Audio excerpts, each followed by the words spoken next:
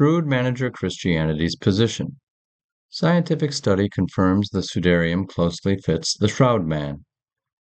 The prior video introduces the bloody face cloth known as the Sudarium of Oviedo, the research scientists known as CES, and the historical record of the cloth and its travels.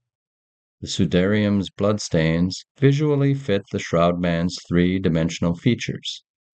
Now we look at CES's investigations in more detail.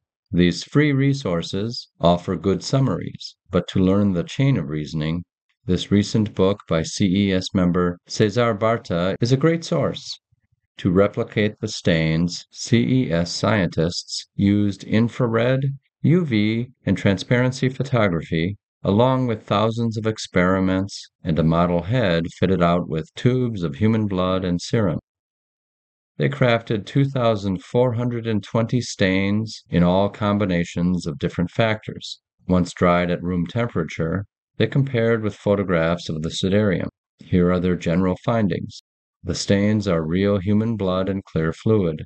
At least 14 blood tests and a positive test for human mitochondrial DNA confirmed this. Also, both cloths test positive for blood type AB. Because ancient blood can degrade to falsely test as AB, however, we won't give this too much weight unless more testing confirms it. Now on to specific findings.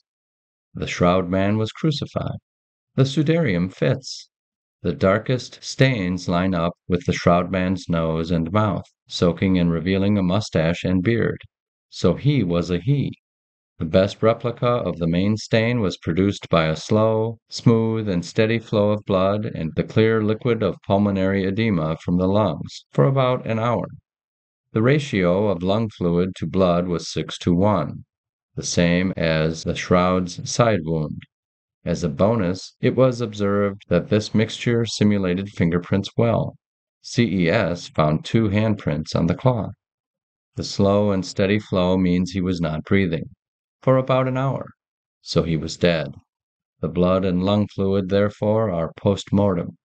Overlapping face stains show the darkest got on the cloth first, then drained down the face. This means he died upright. There are only a few options.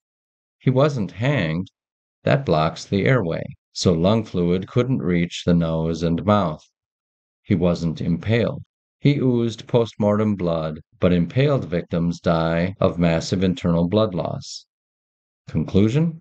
The sudarium wrapped a crucified man. The shroud man was crowned with thorns. The sudarium fits. See these many pointed stains in the occipital region. Magnified, they show concentric halos. CES could only reproduce these stains using whole lifeblood drawn from the researchers themselves. Diluted blood, blood from corpses, and blood treated with anticoagulants didn't work. Their experiments verified how the coagulation process formed the halos. Infrared and UV photos confirm the pointed stains are quite different from the main stains.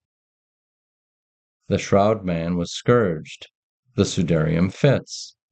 First, the victim suffered intense trauma shortly before death. CES found fibrin, a protein involved in blood clotting. The fibrin blobs were large and free from blood elements, telling medical experts they most likely formed within a pleural or pericardial cavity. To reach such a condition, the individual must undergo a severe trauma, such as scourging, and a few hours must elapse to allow the fibrin formation. Second, although we shouldn't expect many clues on the headcloth, since the shroud man's scourge wounds are body blows, one mark is intriguing. The mark has no exact counterpart on the Turin cloth, but it matches the size, shape, and general location of scourge marks on the shroud man's shoulders. CES offers a rationale. The sudarium clumped the hair into a ponytail shape, exposing the wound. When the cloth was removed in the tomb, the hair relaxed a little, hiding the wound on the shroud. Barta notes similarities between the cloths for dust, pollen, and the fabrics too, which provide avenues for additional research. All this is compelling evidence of congruence. but several radiocarbon tests date the Sudarium to 700 years after Jesus.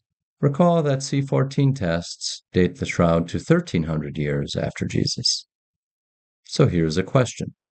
Why does so much evidence show the cloths wrap the same man, yet have C14 dates 600 years apart? If CES's inferences are correct, one or both tests are wrong. Let's quickly review how C14 dating works. All living organisms create carbon 14, which decays at a known rate after death.